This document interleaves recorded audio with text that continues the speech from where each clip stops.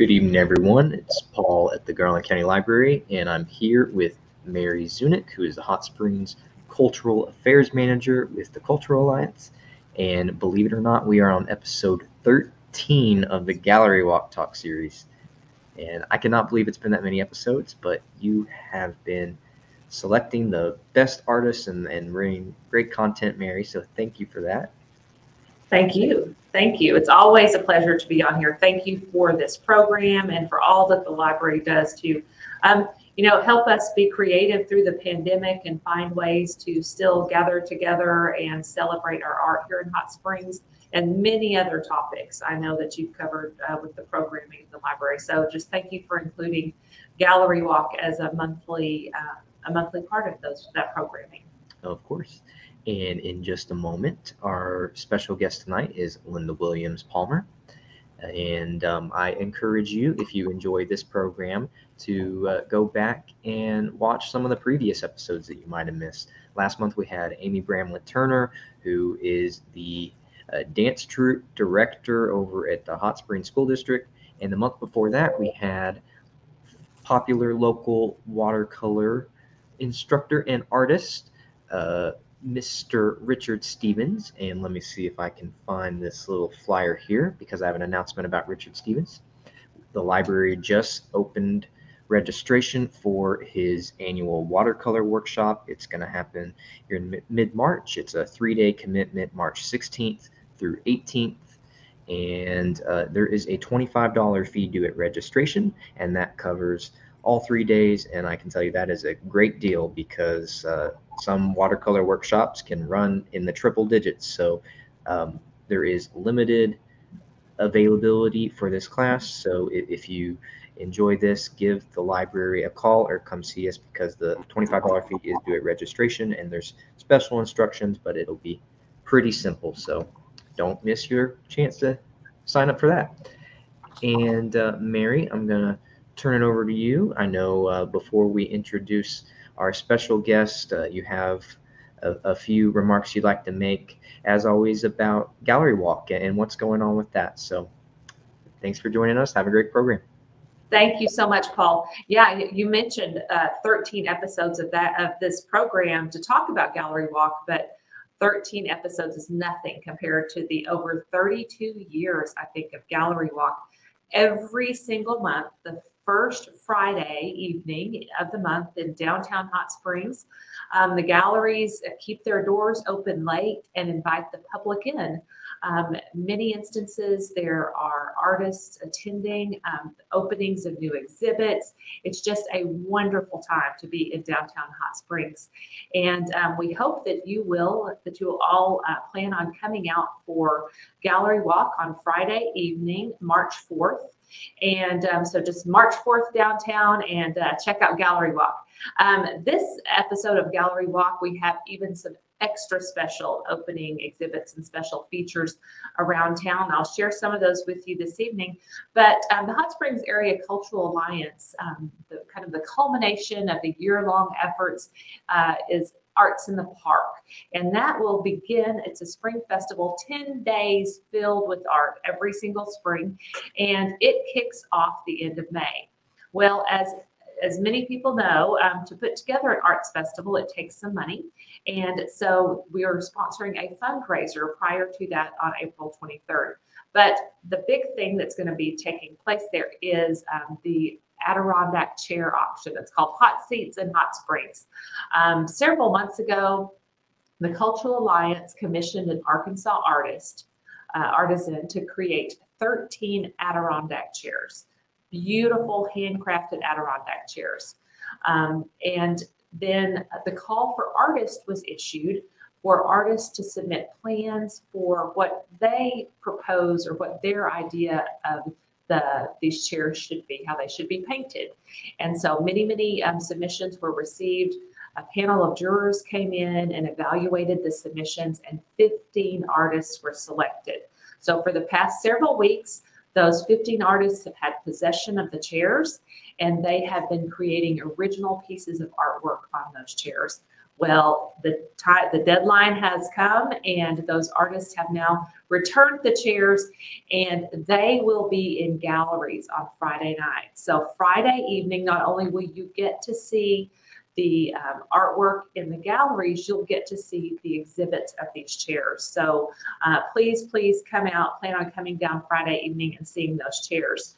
Um, and they are beautiful. Some local artists, uh, as well as, uh, in fact, I'm going to pull up my slides here. Whoops. Let's see here. Paul, would you mind pulling up the slides?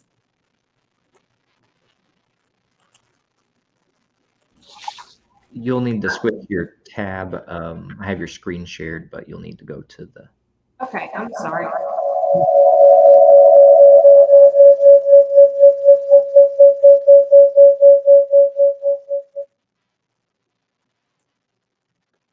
Are we there? Am I still here? You are still on the screen where you can see it. Okay, I'm sorry. I'm not sure what happened there. Um, so let's, There we go. There we go. Okay, thank you for bearing with me through technical difficulties. Okay, so let's get started. Um, and I wanted to show you the pictures of the slides. This is just one of the slides. Uh, local artist Roxy Rose and her sweet hound dog there. Um, but this one is beautiful, Arkansas natives, but there are themes from music to nature to hot springs. The theme of this, um, the of Arts in the Park this year is um, cultural roots or creative roots of where, how we draw inspiration from our collective culture, our individual cultures, and how that can be expressed through artwork. So you can see here that Roxy is certainly inspired by our beautiful native Arkansas wildflowers. So um, come on out and check that out. Um, but just to highlight some of the galleries um, that will be taking part in Gallery Walk this month, the Warehouse. It's kind of like its own little arts festival. Um, different artists come and set up. There's live music. Um, Jeeper uh, does a great job at the warehouse of making it some little bit different every month, and lots of local artists celebrated there. Um, next door to the warehouse is the newest gallery in Hot Springs, Esther's Gallery and Gifts. Um, local artists uh, Don Watson, Wayne Summerhill, um, and I know there's even some exciting new artists since um, last month. Uh, Brian Rooney, local arch- or local Hot Springs artist, will have his um, uh, work hanging there at Esther's. So um, that if you start off down on Broadway and then come on up, if you make it to Central Avenue, Legacy Fine Art Gallery. Um, I think they may even have two chairs at Legacy Fine Art Gallery of the um, Adirondack chairs. But in addition to um, the chairs, of course, um, Legacy's incredible um, collection of artwork uh, will be featuring Stephen Harlan this month, uh, known for his color and dramatic nautical themes. As you can see there, um, they just seem to glow. Beautiful artwork. And then on down from Legacy Galleries, All Things Arkansas. Um, All Things Arkansas has, um, in addition to their wonderful uh, artisan or handcrafted items from across the state um, and uh, artwork, there'll be live music with Ben Carey. So you can enjoy some of a local um, Hot Springs performer, Ben Carey, performing there at All Things Arkansas. American Art Gallery has a brand new look when you drive down Hot Springs. It's our oldest gallery in Hot Springs. Been open. It's been open since the very beginning. And um, Anne and Willie Gilbert um, this month they will be featuring um, knives by Claude Lambert. Um, various artists there: Jamie Carter, Jimmy Leach.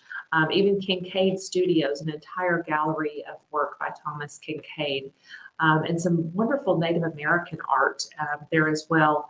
So um, stop on into American Art Gallery. Um, and I have the wrong title on that slide. I apologize. I think that's the first time I've done this, but as you can see, that is clearly Artist Workshop Gallery. Um, Artist Workshop Gallery is a collection of many different artists that come together um, and uh, they each work in the gallery, and uh, uh, the the exhibits are different every single month.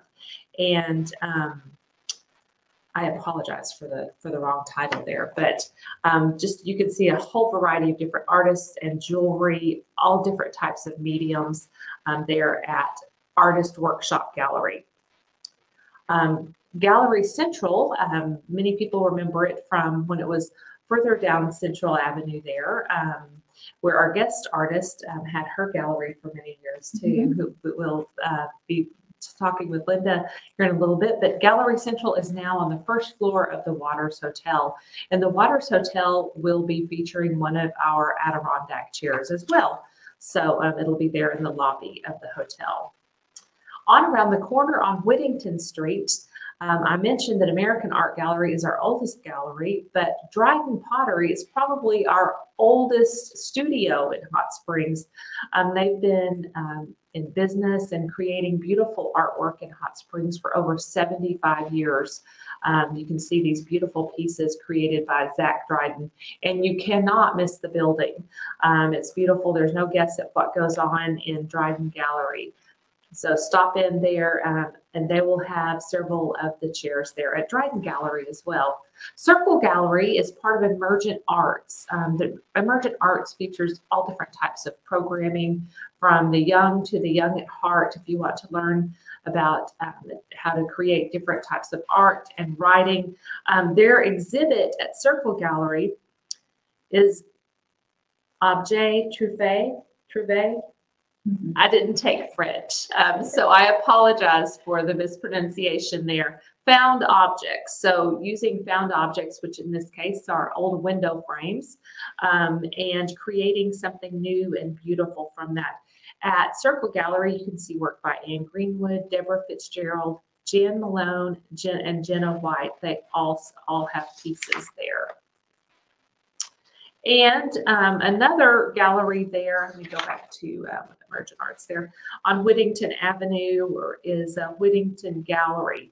And Rus- Rustina Green is a self-taught artist. She will be the um, featured artist there um, who paints from emotions and life experiences. She's sold all art all over the U.S., um, also shown in Mexico, Canada, and even Denmark. So um, while you're you stop off at Dryden Gallery Central, and then, of course, at Whittington Gallery as well.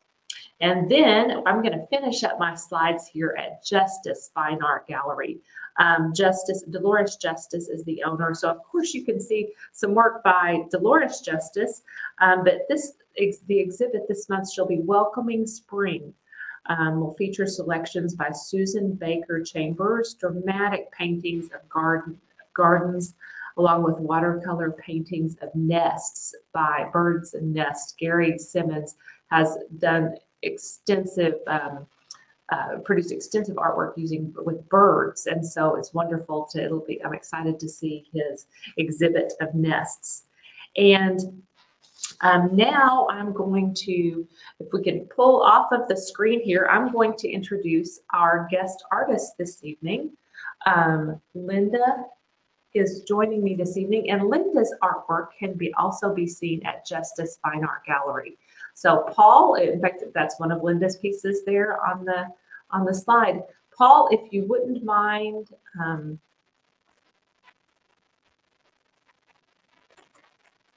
here we are. Okay, let's see. Let's get situated. See if I can move, get moved um, so that we are both in the picture here. How should we? Oh, okay. Okay, there we go. We go this way. Yes, okay, sorry about that. Yeah, just go with me. We're dancing here.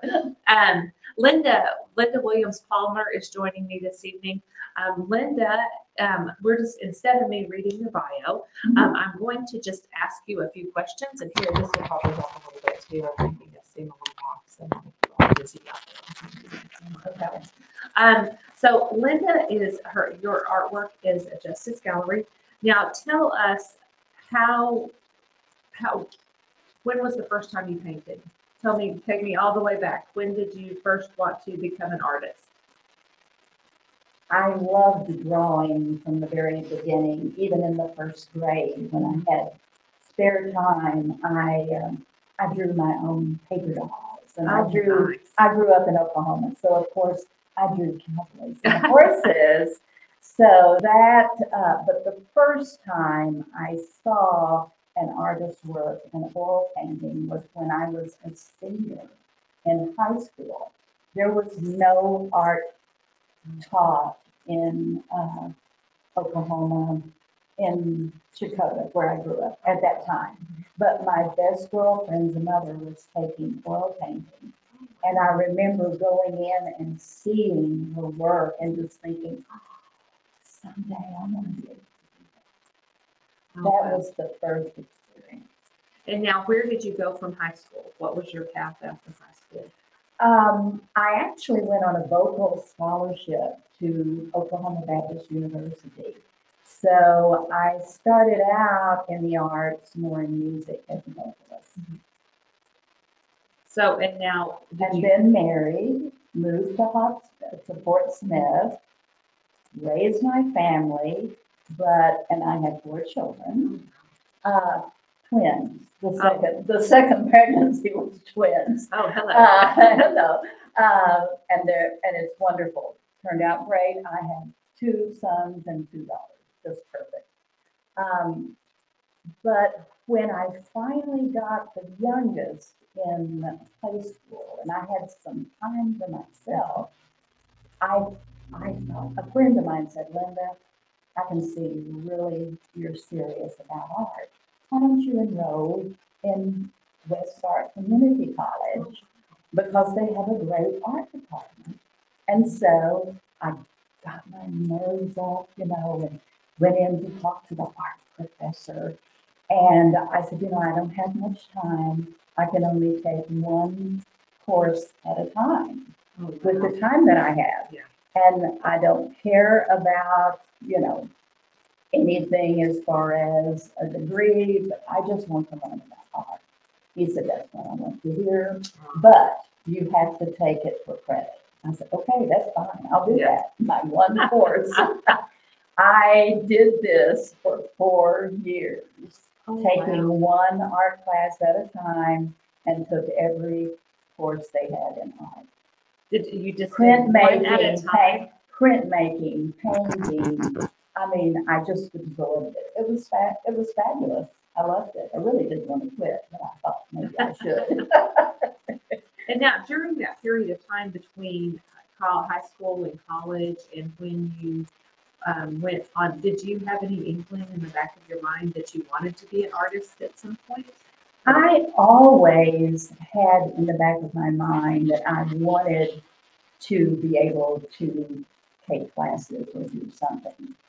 But uh, I was very busy with music and with singing. Um, but when I enrolled in the art class, all of a sudden it was like, this is what I've been looking for. Now, which was your favorite, or did you discover something that was kind of your favorite while you were there? One of the mediums or one of the experiences that really stood out? Not really. I I really loved the drawing class, and I felt like I learned more about art, the basics, um, with drawing. But then I took oil paintings, and then um, printmaking, which I liked, but was a little too technical for me. And then you have to have the press and everything like that. Uh, it wasn't until maybe along the last that I was doing a special projects course. Mhm. And I was working with landscape and working with pencil. But then I wanted some color, so it was all graphite drawings, but I wanted color. So um, I switched over to oils, but I lost the feel of the pencil. And so I was very frustrated. And I talked to a friend of mine and another artist, and he said, Linda, why don't you try these Prismacolor colored pencils? Because I think that's what you're looking for. And he said, they've been used by architects for years and it- it's really fun. So I did. And uh, started uh, experimenting with what I could do with the colored with the colored pencils and that is kind of how I started with the pencil work. But I still work in watercolor, you know, painting different mediums. And um, Well, I'll tell you what, you talked about it. Let's start looking at some, some All other, right. and I'll, I'll throw some, I'll pepper some other Okay. bio questions in there too and take Okay, some other. that's fine. And, uh, so Paul, I'm going to switch over to my slideshow now.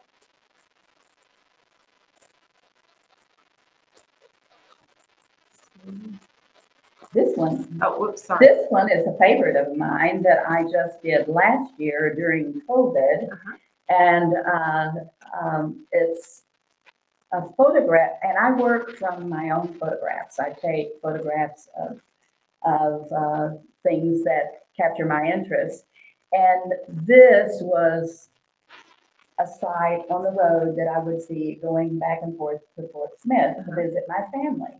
Finally, I stopped and asked the people if I could photograph it because I loved the tree and, and the tree house and everything. So uh, this is one of my recent ones, That is and it's the sycamore. the sycamore. And now, so I guess in the summer, it, you, it. It, you disappears. don't see it as, yeah, right, Oh, because wow. the So you leaves cover captured it. that, yeah, Yeah. that's beautiful. Here we go, we'll slide on down through here, the water tu- cupola. Water tupelo, and this is one of the largest trees, and it is a champion tree. And it's one of the largest on the champion tree list, not the largest, but one of the largest. Um, it, Let me interrupt you just a Okay. second. What is a champion tree? the champion tree is the biggest tree, not necessarily the oldest, Mhm. but the biggest tree that is on record in the state. And uh, it has to have been officially measured by the Arkansas foresters. Mhm. And uh, so, and they come up with the bigness index. And that is what decides which tree is the largest. It's the one with the bigness index. Okay, and so this is the water tupelo. Mhm. So it is, that's the, that's the type of tree it is? That's Mhm. the, Mhm. I've never heard of a And- water tupelo. Well, uh, a lot, uh, it's very often seen in water. Okay, And this one, you can see where the water level was. And this one was located in the Bald Knob um, National Wildlife Area. And it was featured in the documentary Champion Trees.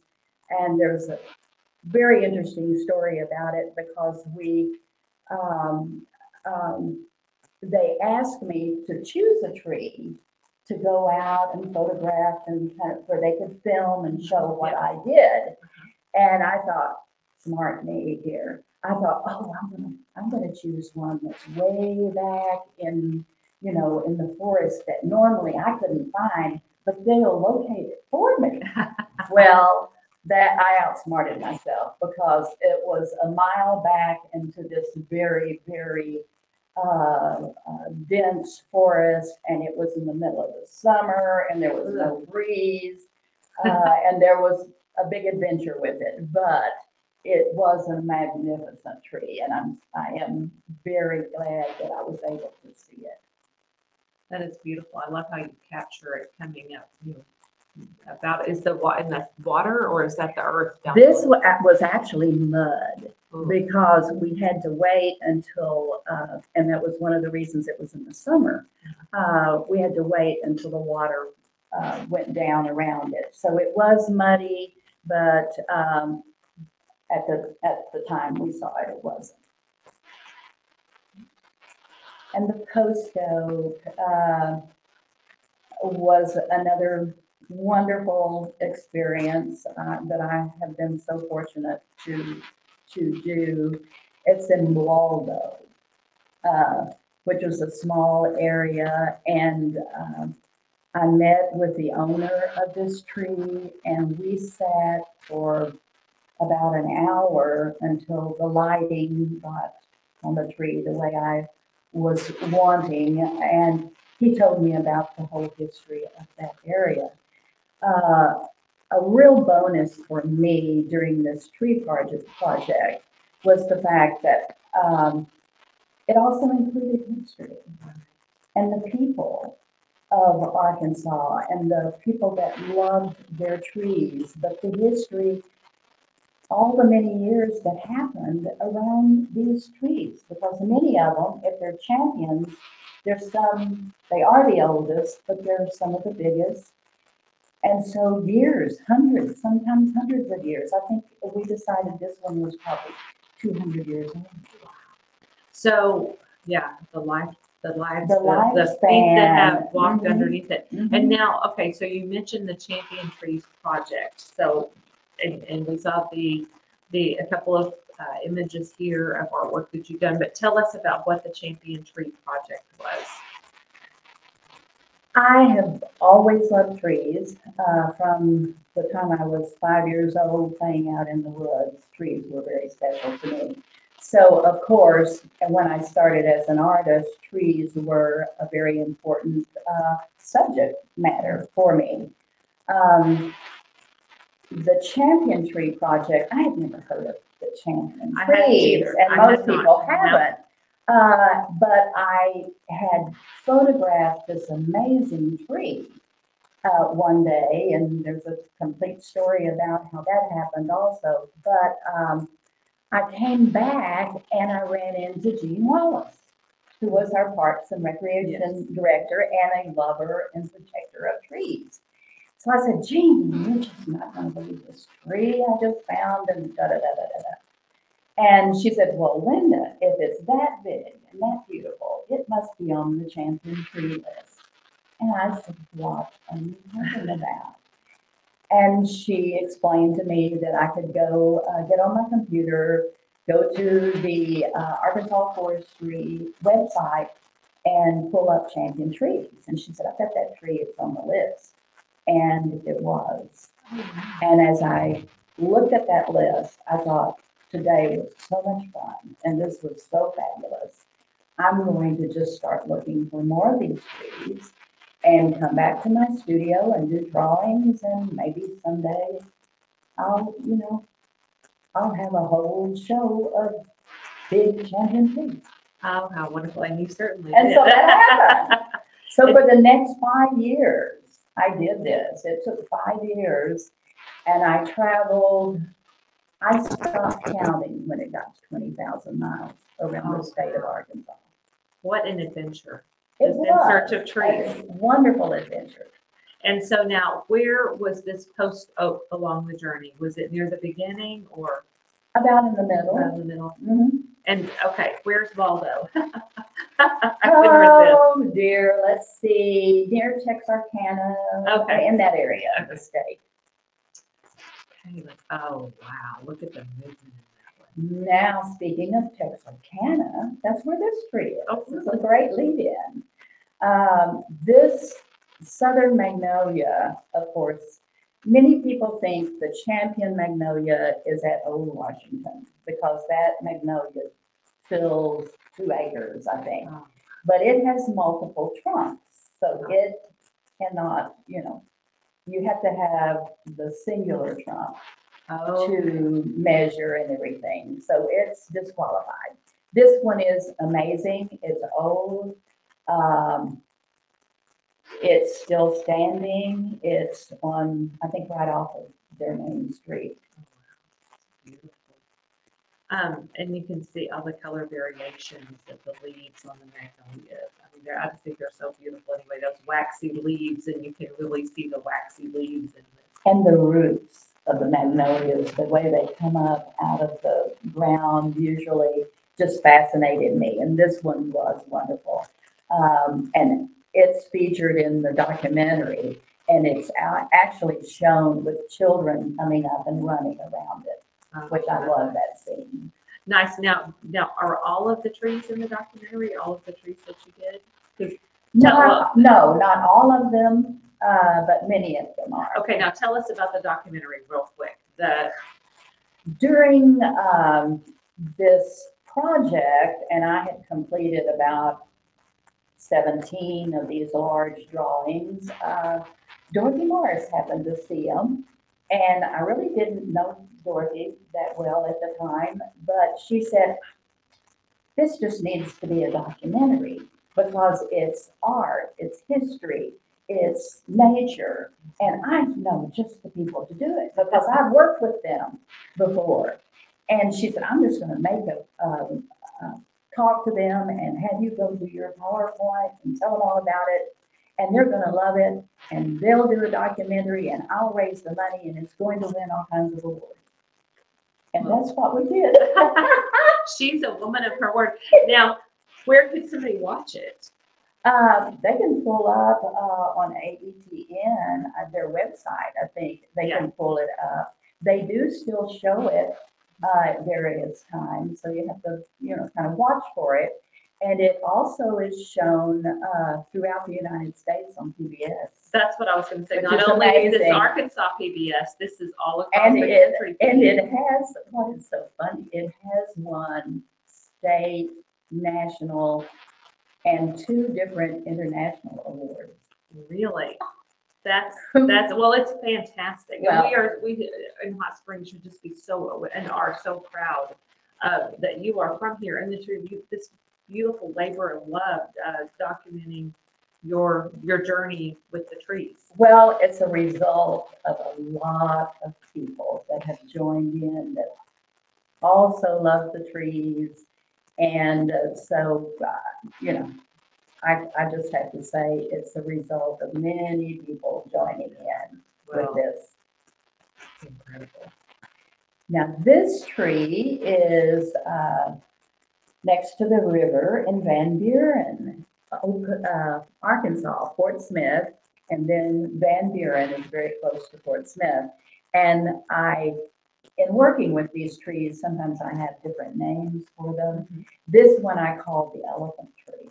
Oh, I can And see that. can Yes, I can absolutely see the elephant elephant. right there. And now you said you photographed them. So you Mhm. photographed them and then came back. Did you do sketches at all when you went out to see them? Not, not usually. I'll make notes and sometimes color notes. But the photographs I take, I may take forty or fifty different photographs from the one tree. Uh, very close-ups. And then when I come back, I can kind of put it together to form the, uh, the composition. Because I want to get close-ups so that I can see the the, the trunks and what's going on with the leaves and everything like that. So just one photograph Well, it. Well, and the detail from the uh, Prismacolor, I, I think, is so much more detailed than a photo would be. That you just see, I saw, um, see one of the birding books, you know, for people who enjoy birding. Mhm. The bird, the most, one of the most popular ones is using color pencils instead of photos because you see more detail in the. You can, and that was one of the selected the prism, the colored pencil to work with for this project. Because I wanted to be able to get that detail. I wanted to be able to get the uh, delicate feel of the leaves and also the color.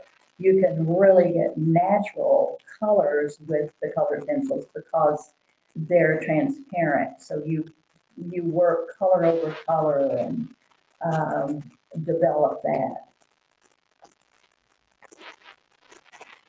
Well, this is a very special tree because two years ago, it was designated as the national champion American holly, which means, because there is a nat- a national big tree list, it means it is the largest American holly tree on record in the United States. That's incredible. And now you talked about the history of these trees and when you went out to visit them. This is one that when I saw the film that really stood out to me. Now, will you tell me the history of this tree? Well, this is something, uh, when AETN started on the documentary, they located two sisters that grew up with this tree and interviewed them.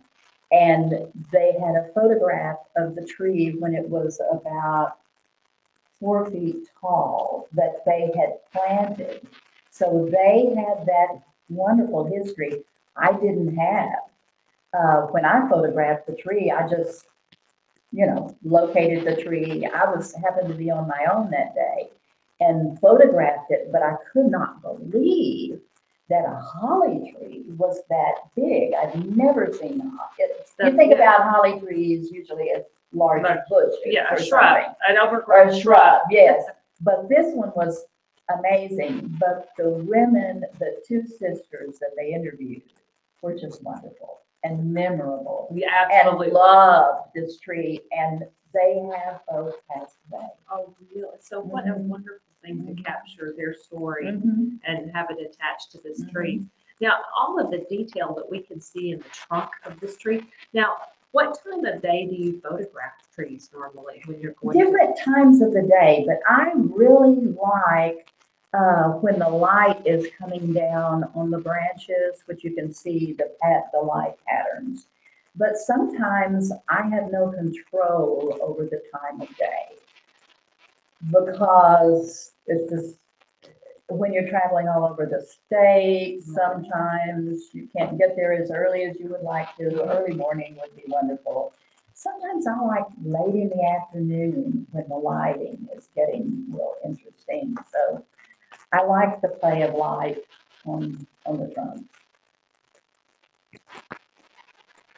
This is a very, very early work of mine, but one that I have really enjoyed through the years. And it's called Sunlight on the Rocks. It's just uh, graphite. And the thing that I like about it, it's very realistic, but it's very abstract. Yes. So there's this play of abstract against the realistic. And I like to do that with my work. Well, it's beautiful. And such a Thank you. contrast. You use the, the vibrant greens and yellows and brown. This Mhm. is And then and very, this- yeah. Where were, were- were This is actually in Colorado. Okay. and it was a, a rock slide. But as you can see, the sun was shining on it. And so there was a very strong contrast, which I loved, of the, the shadows and the light. Almost looks like glaciers too. Mhm, Very.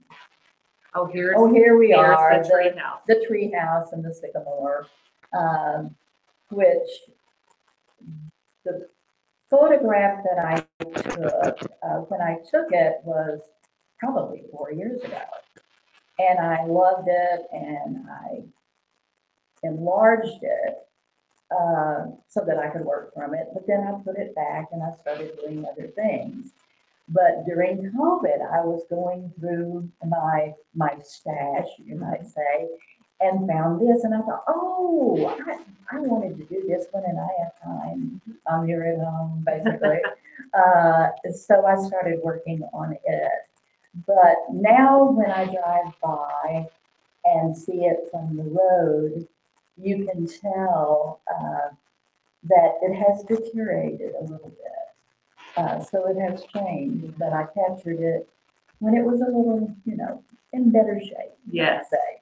Well, and now, like with this one, the trees are bare. So did you purposefully decide to take the photo, to approach them and take the photo when it was bare as opposed to when there were? Oh, yes, Yeah. because, uh, well, I love bare trees because I love the uh, composition of the limbs against the sky, the negative spaces of the sky, and everything that you can you can work with with just the branches and trunks of a tree.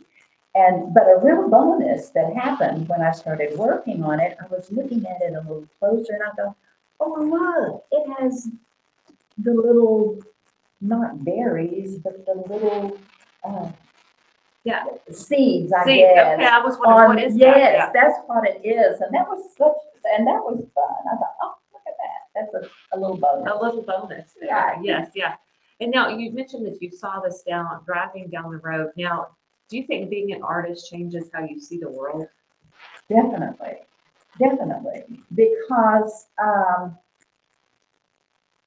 you know, well, if you notice things, you notice the light, you notice the play of uh, a trunk against the sky, um, because your eye, and the more you work as an artist, your eye is constantly doing that.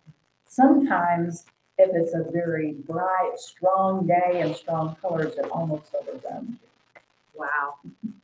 The, wow, the artist sees the world versus how the rest of us see the world. Uh, I love, and this is the perfect name for this too, dancing trees. Okay, obvious, but do you name the tree when you, before you start it, or the, the, not the trees, but the painting, or does it just kind of? It just depends.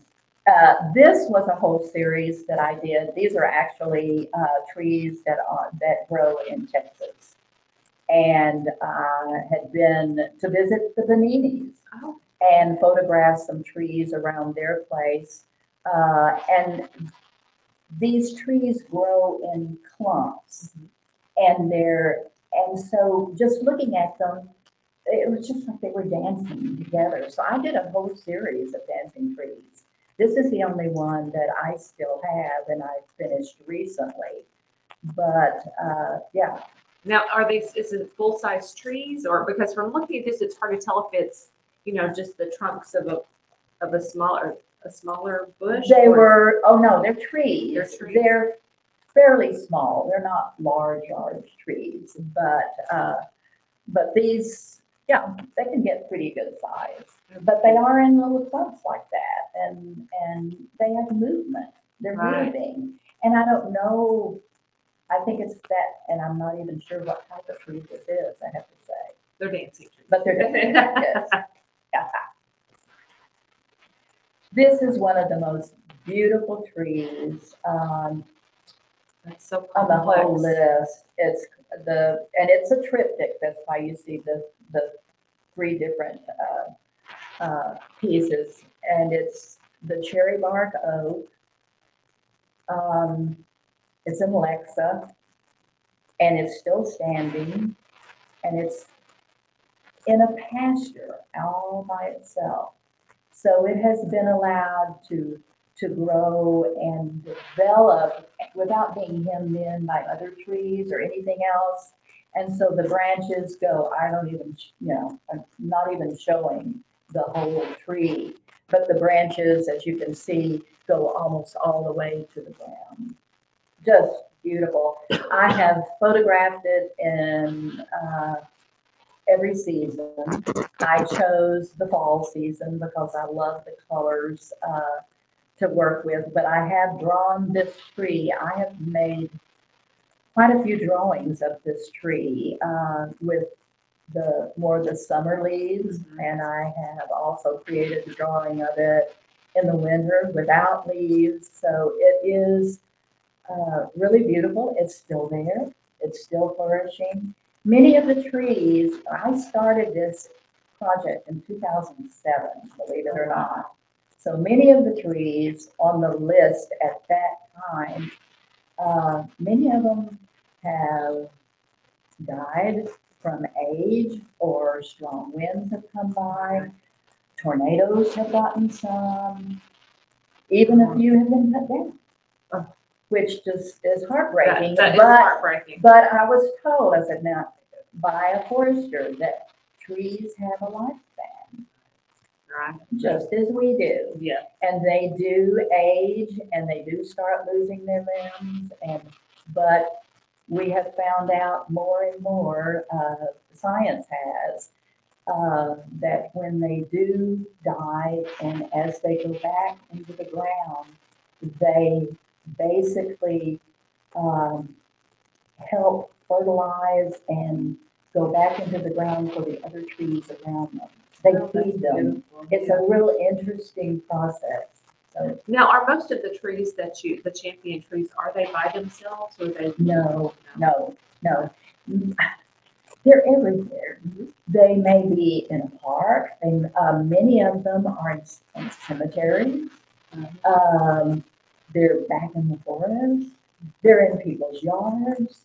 They're all over the state. Do they all have to be native species? Yes. Oh, no, no, they do not. They don't. No, because the ginkgo is one of the favorites. Yeah. And of course, know, Yeah. Well, here's one of our natives, uh, though, the flowering dogwood. Ah, this one is so beautiful. this is the only one that I did that's just primarily graphite. Mhm. and uh, very little color. The color doesn't show up in here, but tiny color on the uh, the blossoms. But I just felt like that's how I saw it when I started it. So, uh, and it is one of one of my favorites. This tree, I'm trying. I don't even remember the exact town where this tree is. But when I, I called um, and talked to the lady and asked if I could come and photograph it. And my friend Linda Cass came with me that day and we photographed a couple of different trees in different places. But I could not believe the size of this tree when I saw it. The trunk of it, which you don't, you know, don't see in this, but um, was as large as as just a regular tree. Oh, wow. And it's just a normal And it's uh, native.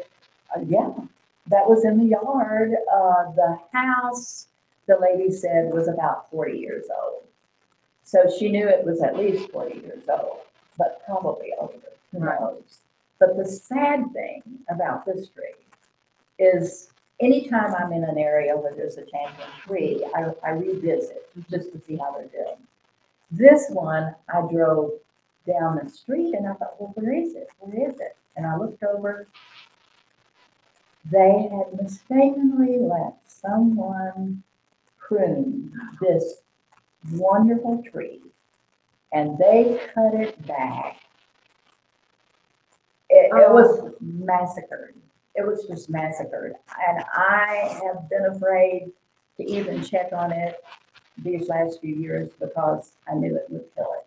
They topped it, they cut the main branches off, just like, kind of like the picture. These large branches were just sawed off, just straight, and they topped it, which is the no-no that you do. You do not top trees.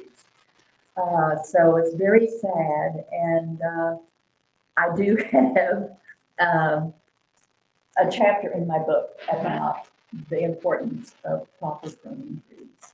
That, that is important. That, um, now, would it be removed from the champion trees if they, if it Um, gets chopped like? As, well, of course, it did, the it did um, lessen the size of it because they measure the trunk and then they will measure the, uh, the dimension from one side to the other, the tip of the branches to the other and the height.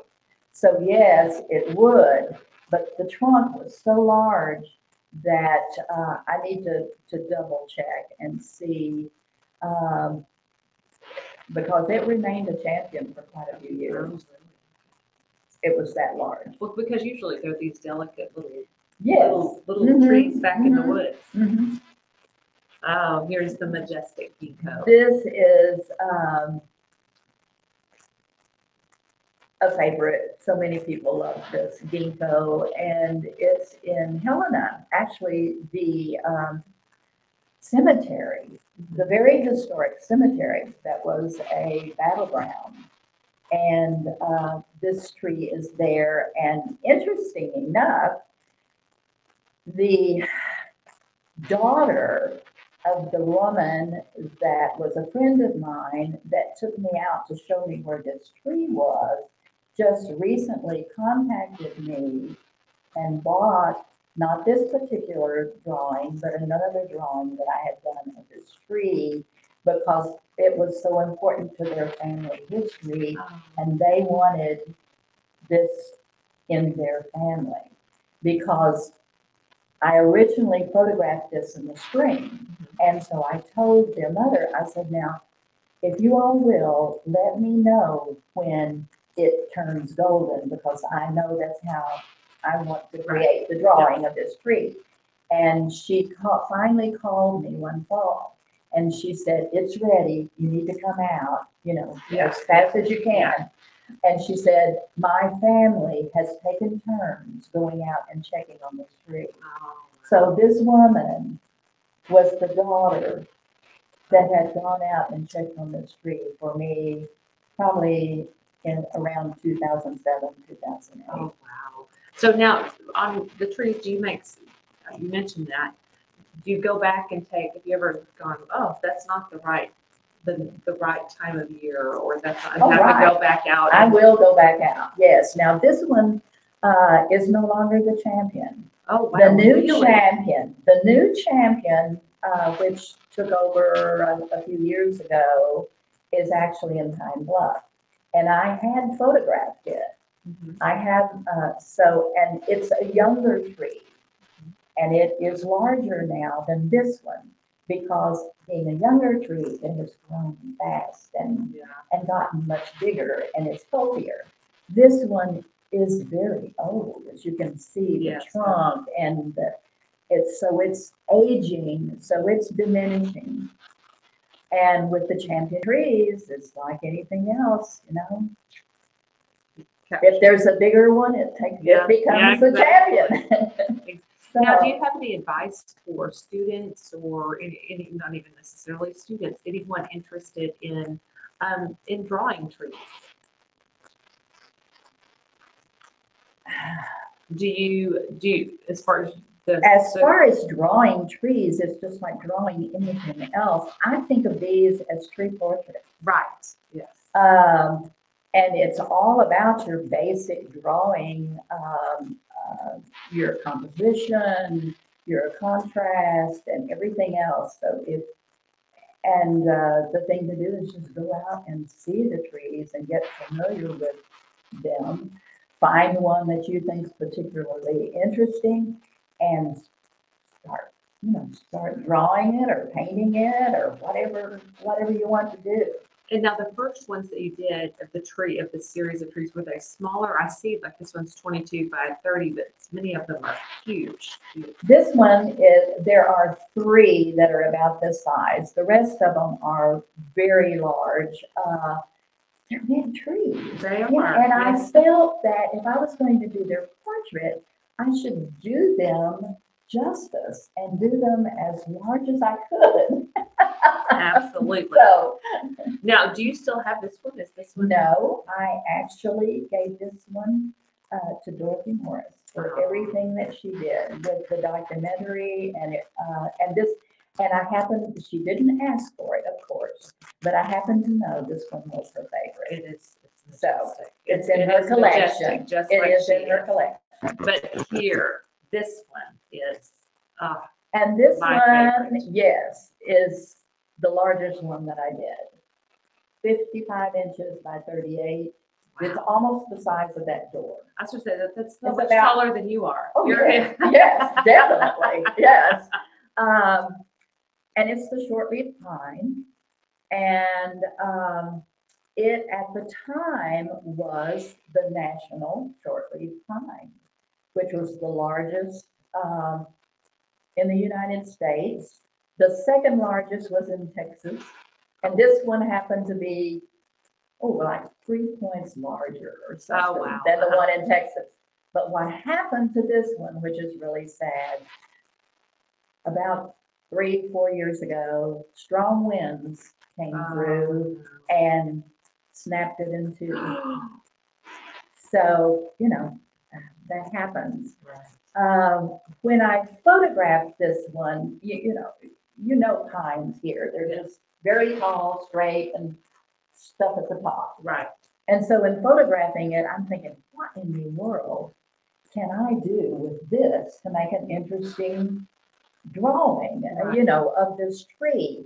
And then I thought about uh, Georgia O'Keeffe's tree that she did, uh, the Jacob tree, I think, looking up into the tree, into the sky.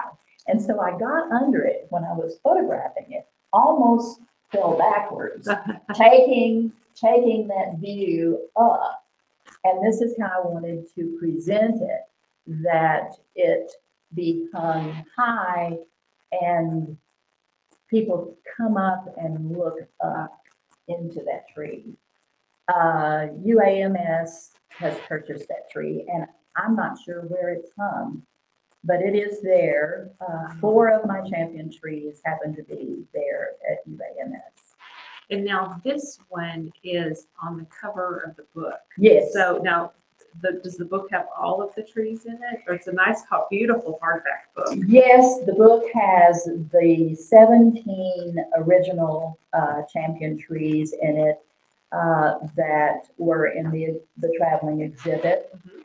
Uh, I have completed quite a few more, uh, since the book was done, but this does have not only the large drawing, but the small drawing, uh, of the leaves. The Because you did- You did two, at least two drawings of each of Mhm. the trees, is this correct? You did the large and then, and then the detail.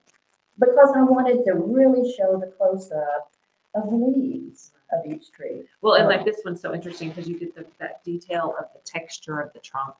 Oh, that, anyone that looks at, really, if you really look at pine trunks, they're just amazing. And so I really had fun with this, with the, the detail and the different colors. When you start looking, all the wonderful colors, uh, so, yeah. Well, I'm gonna start really trying to look at things differently now, looking Okay. at all the colors and that. Gary Simmons is a good friend of ours and he always talks about, you know, the, how the, the trees look black when it's, when the. When they're wet. Yes, or Mhm. when the sun's setting, your light's Mhm. getting low, it looks like, so I'm gonna start looking at the colors of trees too. One thing that I was traveling with Dorothy one day and it was winter and she was talking about, oh, how sad, you know, that it was winter and the colors weren't there. And I said, oh, Dorothy, wait a minute, look. And there are these wonderful browns and mauves and grays. And, and she said, oh, I never thought that. The Now I see eye, them. Now I see them because, because the winter trees are amazing. They're beautiful. Okay, I'll look at things with a different eye now. Oh, okay, and this is, I love the golden. This is a close-up, yes, of the, the branch and of course the little pine cones. Um, That, and so this is the short leaf pine, that same short leaf mhm, pine. mhm. And it is not that size. It is a Oh. smaller size. Okay, sorry. So, I well, must have- you yeah. probably didn't do that. Uh, it's like, uh, I think it was, the, the small ones were eight by ten. Oh, okay, okay. And this was one that I did at the Hackberry. And I renamed this a- in my mind as the misunderstood tree because so many people say, "Oh, Hackberry is not worth anything, just cut it down, they're ugly trees. This tree was beautiful, beautiful, beautiful. Well, and the texture of the trunk on this one is, it's. Again, you, you see the play of light and shadows on this trunk, and this was late afternoon, which I, I really love shadows. But then the colors of the leaves were pretty, I like that. And a very faint blue sky in the back. That is, now where is this one? I don't remember. Oh, whoops, and that's the last one. And that's the one? last the last one. I can look it up. but No, I don't that's- remember. That is, okay, now, are there any trees that you haven't painted yet that are still on your list? Yes. Really? yes. There's a, oh, there's a type of fir tree that is a champion that's here in Hot Springs. Oh, That I want to In Hot do. Springs? Yes, yes, yes. And I had driven by to see it and I, I just haven't done it yet, but I do. Where in Hot Springs is it located? We'll have to look it up. What's the website that we look it up on? What's the? Champion trees on, uh, the, uh, Arkansas Forestry Commission website. Okay, so we can all, and for those of you who are out there who are artists, I just want to challenge all of you to go take pictures of trees. That's wonderful. So, If, if it's something you love. right, know, right, yeah. I think that's very important. If it, and, and people have asked me, at first they said, well, who hired you to do that? Why did you do that? And I said, I did it for me. Because that's my love and that's my interest. And I was fortunate enough that I could take off the time to hunt these down and work on it and, and because that's what I wanted to do. But the old thing about artists follow your own you know, your own interest and your own loves. That's what I would, uh, Now, which one, which tree is your favorite? Which one is your baby? you get? okay, now you, you being a mother will understand this. Okay. Uh, there's no way that you can choose between your favorites. Uh, the trees are like my children in a way, the the drawings. Uh, and I do have different favorites for different reasons. Maybe I like the composition of one better, or the colors in one a little better, or different things like that. But they are special each in their own way. Now, And that's what I wanted to, to do was when I was working on the tree, was to think of it as what makes this tree special. You know, so that's why I think of it as a portrait. and, um, so are there any that you kept? Uh, yes, Yes, so you yes, did. not, uh, I have sold most of them. I have one that's at the gallery right now that I probably will keep. I have an early one that I did that was not a champion tree, but it was a forest that I have kept. Uh, my family has, of course, they all love art, and they have some of my favorite ones that I've done. So, but when I finished with, you know, with the drawing, the trees, I'm through with my. Right. And I love what I had read years ago, and it said, a work of art is not complete until the viewer responds to what the artist is saying. Now, I want to flip it on you just a little Okay. bit. What artists, I mean, are, what artists do you collect?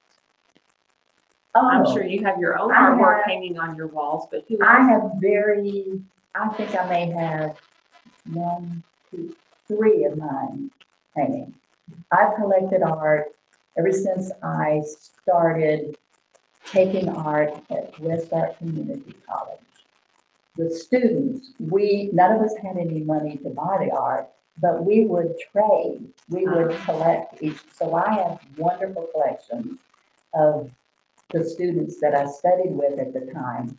But then moving here and opening a gallery, I really had a wonderful opportunity to start collecting work that of artists that I represented, and then I'm still collecting. I'm still buying art, uh, and not, and I have a very eclectic collection. I love good art. I mean, it can be, or art that speaks to me. It can be abstract, it can be very, you know, very representative. It's just all over the world. Isn't that wonderful? That's All one over of- the map, I guess. That's one of my favorite things to do though on vacation is to go see the galleries and to buy a piece of art because it Mhm. hangs on your wall and you have a memory attached to that piece. of Right, art. right. And I have done that in travels. Um, and then I have a, a wonderful art, uh, art book collection also, because every time I would, you know, visit a museum or something, I have uh, an, an amazing library. Well, and that's something that even if you can't afford, you know, someone just starting out, if you can't afford to purchase art, um, you can collect the books. You can go to the library and check out the Mhm. books of art Mhm. and experience different museums that we could never travel to here in, you know, from Hot Mhm. Springs or, or most Mhm. people could not. Um, but you can also buy art from people just starting out who And are I have, who are wonderful. right. And I have done that. I have quite a few, um, uh, a lot of Arkansas artists, Mhm. of course, that I've collected through the years. So, um, and just happened, I'll tell this, uh, I don't think you'll be watching. Uh-huh. I just, I fell in love with Gary Simmons' bird. The Oh. little, and so I just got one. Oh, wonderful. of the Yeah. bird nests, which are just amazing. So people will see them Friday night. Right, Because he is yes. being featured, he's one of the featured artists, and they are, they're just amazing. I, I've seen some of the photos and they Oh, are exquisite. Yes, I know. I'm excited to go Yeah, see them too. yeah. I may make it over to Justus Gallery before, Mhm. um, before Friday night even and check them out. So I Uh, hope he isn't watching, because we wanted it to be a surprise. Oh. Well, and, and maybe he is. Is he, If he is, it is, yeah. Yes, but you can stop by and see Linda. Will you be at the gallery on Friday night or? I am, have to be in Fort Smith. Okay, well, So but I Gary will will, miss it, but I Gary know will be Gary will there. be in the Yes, gallery, yes, absolutely. yes. So, um, we will, um, uh, that, that kind of wraps us up and, uh, the last slide here talks about Arts in the Park. It has the dates there. Um, now, but I want, for Arts in the Park, the, the website is hotspringsarts.org. But now how could someone find you, Linda? LindaWilliamsPalmer.com. lindawilliamspalmer.com. That's an easy one to That's my remember. website. Okay. So, And if you want to see some in person here in Hot Springs, of course, Justus Gallery. But long years after we're we're we're recording this, Linda, we can people can still go back on the gallery or the uh, library's um, YouTube page and watch this interview. So great. yeah, so they can look up Realize that. lindawilliamspalmer.com. Mhm. And if anybody missed it tonight, you can share it with your friends. And for those of you who are watching tonight, um, you can um, let your friends know that after tomorrow they can can go back and catch the interview, and of course can go out to Gallery Walk. And um, I'm leaving this slide up there for a minute, hoping everyone will write down the dates. And one, just for anyone watching this this evening before before Arts in the Park, we're putting the program together within the next couple of weeks. And if you have any arts programming that will be going on between April 29th and May 8th. We certainly want to include that in our calendar. Um, we have Art Moves opening um, on April 28th, which is the exhibit down along the Hot Springs Creek Greenway Trail, which will feature 15 pieces of artwork, um, some amazing submissions. I'm really excited about this year's um, Creative Roots theme. Um, we will have an outdoor arts festival with children's events and artists and live music. Um, different events taking place all week long for 10 days. The closing weekend of Arts in the Park, of course, will feature Gallery Walk because it's the first Friday of the month. And then studio tours where um, artists all around the Hot Springs area actually open up their private studio and let the artists come in, or, and let the public come in and uh, check it out and see where where they create their artwork. So we'll have a mural going up. Um, we have paw dancers coming um, during Art Springs that opening weekend, and an exhibit of the work of Mike Disfarmer. So um, Arkansas photographer that has become so renowned for his uh, photography that will be at the Hot Springs Convention Center. So, Paul, um, I think we we have wrapped it up. Are there any questions? That was excellent, as always. Uh, learned a lot of myself there. Um, champion trees, not something I realized existed either. But how many? Uh, we'll go to the site and see where they're all at. But how many does Hot Springs have? Right now, I think they, I know, one, two, perhaps three, but it's ever changing.